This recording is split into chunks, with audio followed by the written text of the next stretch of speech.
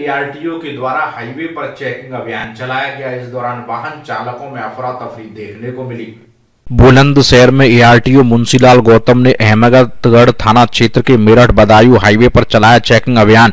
ARTO के checking अभियान से वाहन चालकों में मचा हड़कंप। एआरटीओ ने तीन गाड़ियों का टैक्स जमा न होने पर काटे चालान। एआरटीओ के द्वारा घने कोहरे से होने वाली दुर्घटनाओं को लेकर भी वाहन चालकों को जागरूक किया। वाहन चालकों से धीमी गति से वाहन चलाने की अपील की। एआरटीओ मुंशीलाल गौतम ने बाइक पर सवार होकर एक व्यक्ति सहित दो महिलाओं की गाड़ी का भी चालान काटा। एआरटीओ की गाड़ी देखकर वाहन चालकों में खलबली मच गई और रास्ता बदल कर निकलते नज़र आए। सर्वेश कुमार बुलंदशहर समाचार 24 चेक किया जा रहा है और कोहरा भी बहुत ज़्यादा पड़ रहा है। उसको लेकर किस तरह से जो वाहन चालक हैं उनके लिए किस तरह से आपके द्वारा समझाया जा रहा है और किस तरह से लोगों को जागरूक किया जा रहा है जिस तरह से लगातार एक्सीडेंट की घटना भी सामने आ रही है? देखिए उत्तर प्रदेश सरकार द्वारा माननीय मुख्यमंत्री जी का मुख्य उद्देश्य है कि सड़क दुर्घटना में होने वाली दुर्घटनाओं को कम करना, इसको 10 परसेंट न्यूनतम लाना। हमारे देश में 50 परसेंट से अधिक दुर्घटना होती हैं।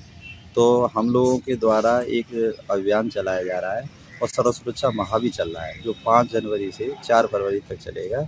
इसमें कोहरे में होने वाली दुर्घटनाओं के बारे में समझाया जा रहा है चालकों को और ये यातायात नियमों के बारे में जागरूक किया जा रहा है, जिससे दुर्घटनाओं में कमी आवे और हम सड़क सुरक्षा पर सुगम यात्रा पूरी कर सके। रहे आज कुछ गाड़ियाँ जो बिना टैक्स जमा किए पकड़ी गई हैं अहमदगढ़ थाने में पकड़ी हैं कितनी गाड़ियाँ पकड़ी हैं और क्या कार्रवाई की जा रही है? जो गाड़ियों पर टैक्स नहीं जमा है और बिना फिटनेस के संचालित हो रही हैं जिन पर जो रोड सेफ्टी के अंतर्गत आती है जिसमें मतलब दुर्घटनाओं की संभावना बड़ी बढ़ती रहती है इसलिए अनफिट गाड़ियों को हमने थाना इसमें अहमदपुर में बंद कर दिया गया तीन गाड़ियों को अभी तक हमने सीज कर दिया गया तो किस तरह कार्रवाई की जा रही है? और ये कार्रवाई लगातार जारी रहेगी और इस तरह से हम चेकिंग अभियान चला रहे हैं और जागरूक भी करते रहेंगे चालकों को समय समय पर जिससे कि दुर्घटना में कमी आवे नशे में हालत वाहन न चलान ओवरटेकिंग न करें ओवरलोडिंग न करें और यातायात के नियमों का पालन करें। सीट बेल्ट लगाए हेलमेट लगाए ये सभी तरह से चालकों को जागरूक किया जाए।